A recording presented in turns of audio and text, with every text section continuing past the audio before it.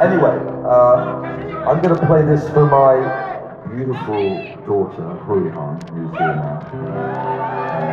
We both like this song a lot. It's called Dark Entry.